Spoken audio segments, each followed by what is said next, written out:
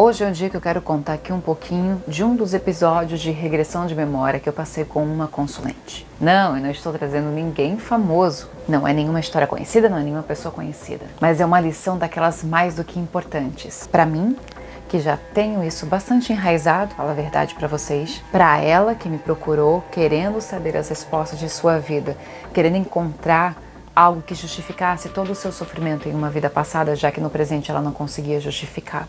E uma lição da espiritualidade, aquela lição básica que sempre diz assim: o telefone toca de lá para cá. As cartas vieram de lá. Eu conduzi como conduzo tudo, mas com ela foi diferente. E foi uma lição também a respeito de autoconhecimento, o caminho de uma verdadeira reforma íntima. Eu fiquei muito emocionada. A história não está completa, mas eu não posso demorar para passar essa mensagem tão bela que ela é. Sim, hoje eu vou contar um perrengue que foi uma regressão de memória com uma das minhas consulentes. Eu acho que eu quase infartei naquele dia porque eu fiquei muito nervosa. Eu fiquei muito, muito, muito, muito, muito preocupada, muito nervosa, muito tensa, mas deu bem bom depois. Vamos lá?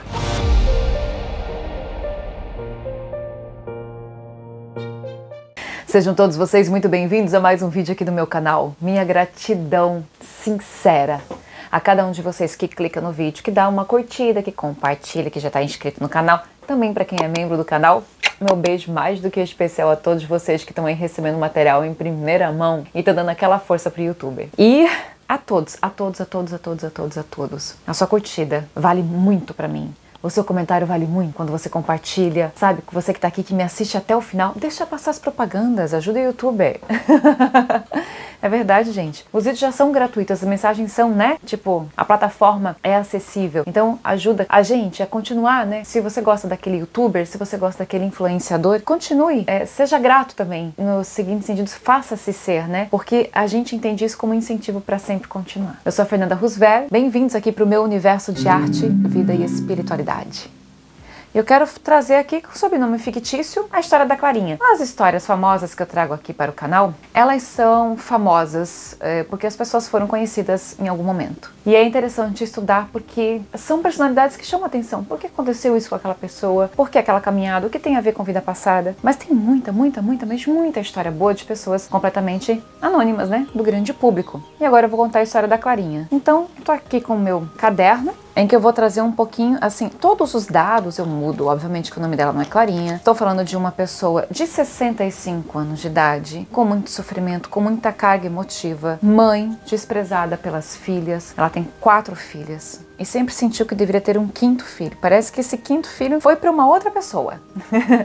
foi para uma outra pessoa, mas vive no convívio familiar. Teve quatro filhas. Dessas quatro filhas, duas estão mais a favor dela, as outras duas a favor do pai. Como eu disse no início desse vídeo, nós não temos ainda todo, todo o enredo da história da Clarinha. Não temos ainda. Estamos em pesquisa. Mas há uma mensagem muito bonita que eu quero trazer aqui para vocês, até para matar a curiosidade de quem quer entender um pouquinho mais do meu trabalho. Ela começou a fazer sessões comigo no dia 20 de setembro de 2023, se eu não errei quando eu anotei a data. Ou seja, uma pessoa divorciada, passou diversas dificuldades em sua vida. Eu vou fazer aqui um resumo da vida presente para que vocês compreendam. Houve um momento em que eles tiveram, quando ela era casada ainda, foram mais de 40 anos de casamento, ou seja, uma vida inteira juntos. Quatro filhas. Ele foi um cara muito bem sucedido e quando ele cresceu, o marido dela, o ex-marido, quando ele cresceu no trabalho, alcançando esse alto nível digamos assim, financeiro. Eles viveram em Miami também, viveram fora, mas sabe, não faltava nada. Teve sua fase de dificuldade, obviamente. Ela vem de uma educação difícil, ela vem, o início dela, a infância dela, a família dela já era mais voltada à pobreza, com mais dificuldades mesmo na vida. Então teve um momento em que o casamento teve, né, a, a situação financeira do marido teve um up e a coisa melhorou. Só que ele ele se tornou uma pessoa arrogante, humildade zero, como ela fala. Até o momento ali que ele chegou a perder o emprego. Construir um certo patrimônio, enfim, mas acontece que ele teve uma amante, ele atraiu. E no enredo da traição, do divórcio, duas filhas ficaram do lado do pai, duas filhas ficaram do lado da mãe. Resumindo aqui para vocês, a filha mais nova parece ser o grande problema. E tem um detalhe importante no nascimento dessa menina. Vale ressaltar o seguinte: a Clarinha ela tinha tido as três filhas. E é, não, não era mais para ela ter filhos, tanto que ela teve chumbo nas trompas, teve uma infecção violenta por conta disso, porque ela tinha feito é, essa laqueadura. Aí ela teve esse problema nas trompas, teve essa violência, essa violência, teve essa infecção violenta, teve que refazer essas trompas. E aí, nesse período em que estava em tratamento por conta das trompas, eu estou resumindo porque as questões médicas eu não entendo muito, tá gente? até anoto tudo aqui porque são muitos consulentes, muita coisa, né? Para eu também estar tá lembrando. Ela perguntou: "Eu posso ficar grávida?" É, enquanto a gente está nesse tratamento, e o médico disse para ela que seria como ganhar na loteria. Bom, ela ganhou na loteria, ela acabou ficando grávida da quarta filha. Essa quarta filha foi uma criança muito doente, com muito problema na infância, diferente das outras filhas que ela teve. Ok. E essa é uma das que mais dá problema. Teve suas dificuldades ali na, no, na infância, mas foi uma criança, pelo, pelo, pelo que ela me traz, superficialmente, porque não sou psiquiatra para poder fazer uma avaliação dessas, tudo que ela traz, todo o perfil que a mãe me apresenta nas sessões, que a Clarinha me apresenta, revela uma filha narcisista. Ela chegou a me enviar áudios da filha, é, áudios assim, ela não, de não chamar a, a, a mãe de mãe, chama de genitora, ou aquela lá, e não teve na história das duas algo que justificasse. Houve algumas dificuldades, é, às vezes ela tinha que trabalhar, a criança tinha que ficar com a babá, ou coisa do tipo. Houve dificuldades financeiras quando ela era criança. Só que é uma, uma, uma, uma pessoa que não aceita não. Então nada justifica o fato de ela ter tanto ódio pela mãe, porque não tem. Eu cheguei a falar para ela, Clarinha, ela tem ódio. Ela sente isso. É até, até é forte falar, né? Porque é uma pessoa assim que eu já conheço algumas sessões me emociona, eu já chorei com ela acho que diversas vezes. Você sente na voz da filha pelo áudio, um, pelo áudio, né, que ela me encaminhou pelo WhatsApp, ódio. O que sai, a energia que sai da voz da filha é uma energia de ódio. É terrível. É muito negativa.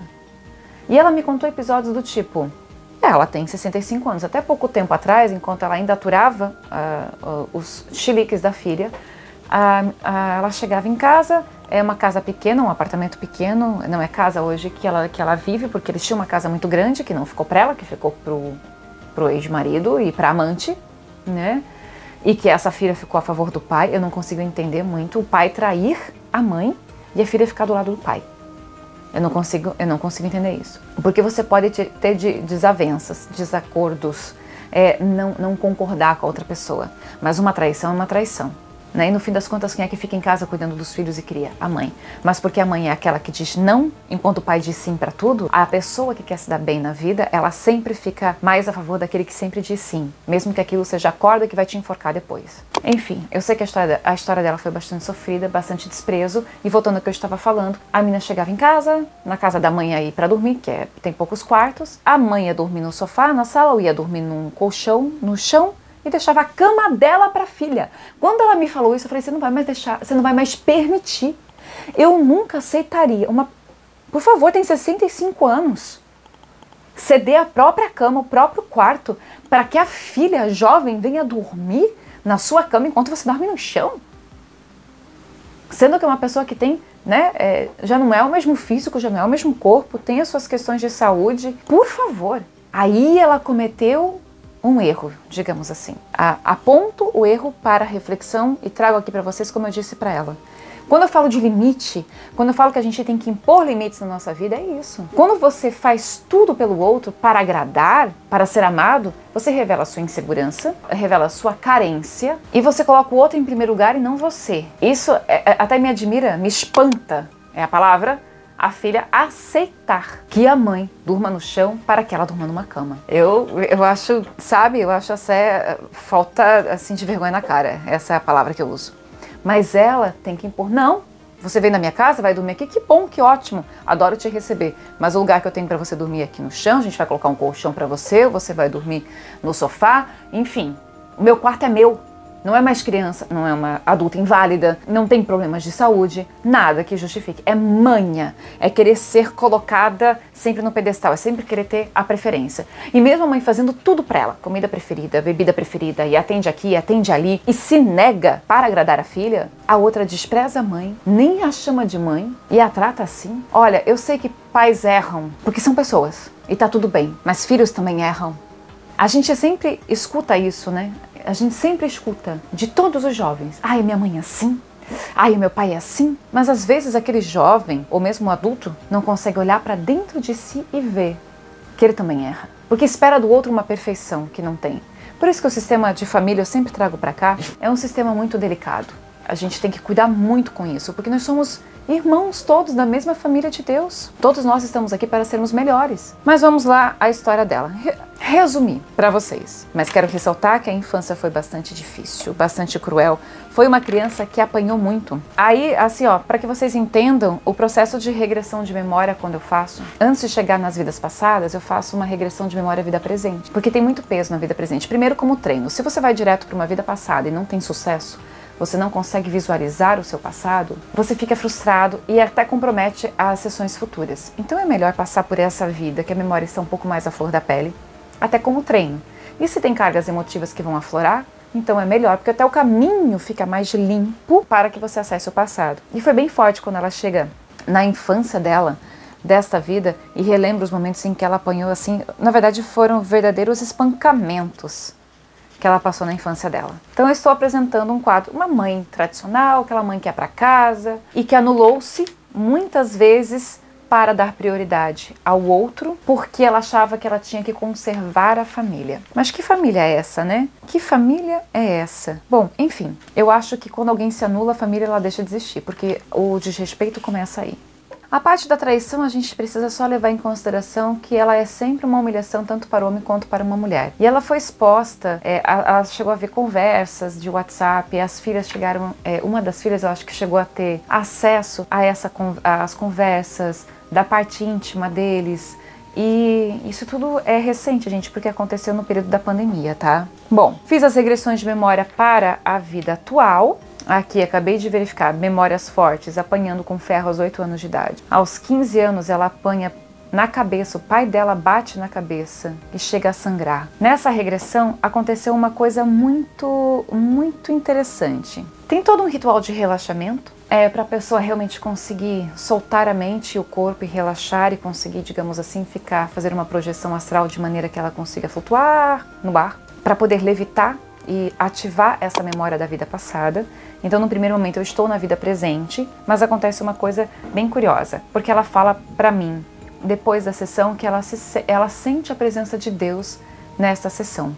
Ela sente paz, ela sente essa presença de Deus. Quando ela está indo, eu peço para que atravesse um corredor para acessar a memória passada. Quando ela está neste corredor, indo para a infância ainda desta vida, ela vê um índio, como se aquele índio estivesse no corredor mostrando o caminho para ela. Vários consulentes trazem esse tipo de, de experiência para mim, de ver alguém no meio do caminho como se fosse um mentor e tal. E eu chego a pensar, olha, de repente ela foi índia em outra vida e está começando a mesclar as memórias, mas ela não vai para uma vida passada, ela vai para a infância dessa vida que acabei de narrar aqui, apanhando aos 8 anos de idade com o ferro, enfim, o pai batendo nela, acordou ela, né? ela estava dormindo, o pai vai lá, acorda, ela tem 15 anos de idade bate na cabeça dela até sangrar. Então é muito dolorido e, é, e ela é intensa nessas regressões. Ok, essa sessão foi tranquila, o problema foi a próxima. E agora nós vamos para as vidas passadas da Clarinha. Na verdade, para uma vida passada da Clarinha.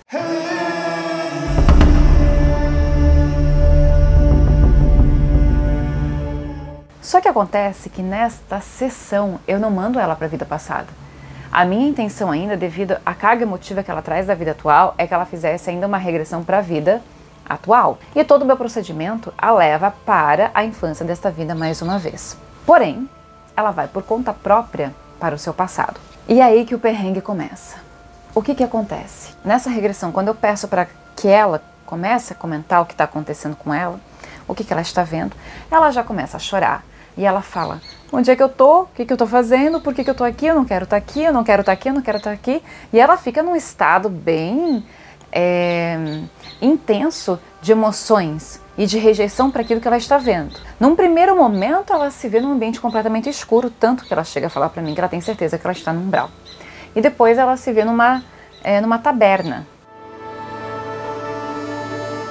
E diz: não quero que não queria estar ali. Ela está triste, vê outros homens ao seu redor, mais homens do que mulher, está com uma blusa folgada, nessa blusa tem babados na manga, a saia é rodada, ela está suja e ela, ela não vê os próprios pés, mas uma coisa chama muito a atenção dela, que são as unhas sujas. Toda a mão está suja e assim na unha por dentro está muito sujo. Eu entendo que ela está numa regressão de vidas passadas e digo para ela o seguinte: olha, você está numa regressão de vida passada, fica tranquila, eu estou aqui com você Estamos em paz, está tudo bem, continue. Você foi por conta própria. E observação: aquele índio que ela viu na sessão anterior também estava naquela, naquela passagem do corredor que dá acesso ao passado. Eu peço para ela retornar à infância desta vida. Quando ela vai para a infância, de novo, ela é pobre, ela está numa casa, uma casa que fica no meio do mato. Ela também está descalça, isso chama bastante atenção dela, o fato de não ter calçado. A mãe está preparando para comer uma água marrom. É isso que ela traz. A mãe está preparando para comer uma água marrom. Ela tem muita fome, não tem nada para comer. A mãe é uma pessoa brava que briga com ela, provavelmente uma mulher nervosa, angustiada, sem ter alimentos em casa. Não tem comida naquela casa. E em algum momento dessa cena, a mãe pede: "Ó, sai daqui, sai, tipo, sai da cozinha". Aí ela sai da cozinha, ela vai para um outro ambiente. E quando ela vai para este outro ambiente, ela fica num canto na parede. Provavelmente ela tá chorando, ela tá reclamando. Assim a gente tá deduzindo depois, porque a mãe do nada aparece do lado dela com uma colher de pau e começa a bater aonde? Na cabeça dela. E aí ela começa a chorar mais forte ainda nessa regressão. Ok, uma pessoa chega, me parece ser o pai. Ele é moreno, ele quer comida e não tem. Só que a gente tem um problema nessa hora da regressão. Senhor Deus, que essa hora foi a hora que eu me assustei. Primeiro que já me dá, quando o consulente ele vive muito a cena, eu já fico assim, ah meu Deus, socorro, né? Porque eu sei o quanto dói as emoções de vidas passadas, né, das regressões. Deixa eu fazer um parênteses para trazer um esclarecimento. A regressão de memória de vidas passadas, você pode achar que é muito legal conhecer o seu passado. E eu acho ótimo, eu recomendo sim para qualquer pessoa, desde que essa pessoa não faça isso de maneira leviana, por curiosidade apenas, que ela esteja buscando isso de uma maneira consciente. A regressão de memória é dolorida fisicamente, emocionalmente. Você traz da regressão dores que estão com você, que estão no seu perispírito, que estão na sua carga emotiva. Elas estão ali. Isso só vai aflorar. E a verdade é que essas dores, elas vão aparecer para você na sua vida em algum momento. A única diferença é que na regressão a gente consegue trabalhar isto, limpar isso, para que não vire uma doença depois. É limpar o espírito mesmo, entende?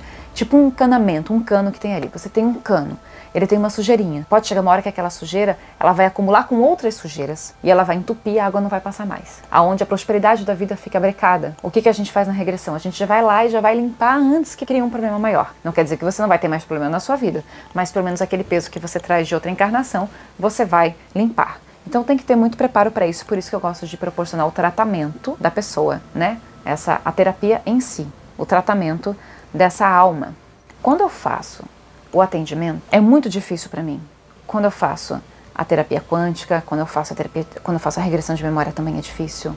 Quando eu faço a regressão pela outra pessoa, nossa, é mais difícil ainda, porque eu puxo muita carga para mim. E às vezes eu sofro apagão. Então assim, eu terminei um atendimento, eu vou para outro e às vezes eu chego a atrasar porque eu preciso de um respiro, dependendo do que acontece. Ah, é verdade que quanto mais eu tenho treinado, mais forte eu tô ficando. No caso dela, eu tô fazendo a contagem para ela regredir pro passado, que é aquela contagem de regressão em si. Eu sofro um apagão atendendo ela, mas eu, mas eu acho que durou dois segundos, três segundos. Porque eu tô na contagem e eu sei que eu perco a consciência. Eu tô assim, eu tô, ela tá tão pesada, ela, tá, ela traz tanta carga que eu sinto essa carga. E eu só vou assim, né? Cinco, quatro. Eu lembro que eu falei três e perdi a consciência por alguns segundos. E daqui a pouco eu acordei e falei: opa, dois. um. Abre a porta. Mais ou menos assim. Ok, começou aí. Nesse momento, nesse momento, eu faço, gente, as sessões pelo Google Meet. Nesse momento em que ela sai da cozinha, ali que a mãe está preparando as coisas e ela vai para outro ambiente. Quando o pai chega, nesse momento, a conexão, não, a conexão não caiu. Ela saiu da sala, como se ela tivesse colocado o dedo ali e clicado no sair. Foi só isso que aconteceu. Caiu, ela saiu do ar. Não deu falha de internet. Quando dá falha de internet, ela fica brecada. Mas não foi falha de internet. É como se ela tivesse colocado o dedo na tela. Gente, eu tô olhando a pessoa. Ela tá deitada. Ela tá ali, dormindo, tá escuro o quarto, tem só uma penumbra e simplesmente saiu, né? Tá lá, Clarinha saiu da sala de reunião. No meio daquele choro. Eu, caraca, socorro, o que, que eu faço? O que, que eu faço? Meu coração foi a 2 mil por hora. Vou telefonar para ela. Vou telefonar. Peguei, porque ela estava fazendo a sessão pelo telefone. Peguei o telefone e liguei. Ela vai acordar com o barulho do telefone. Eu preciso que ela acorde. Ao mesmo tempo que eu estava nervosa e aflita, eu estava calma, como se aquilo tivesse que ter acontecido desse jeito. Aí no que eu telefono para ela, eu desligo, porque eu sei que ela acordou, porque ela não chegou a atender o telefone. Eu desliguei o telefone, desliguei a chamada e ela voltou para a reunião. Aí ela assim, Fernanda, ela nem deixou eu falar, que ela chegou assim, eu saí, é, eu, eu acordei, o meu telefone tocou. Quem será que me ligou agora? Ninguém me liga. Eu assim, pois é, Clarinha, era eu. Você me ligou assim, é? Você saiu da reunião. Não, eu não fiz nada. Eu sei que ela não fez nada.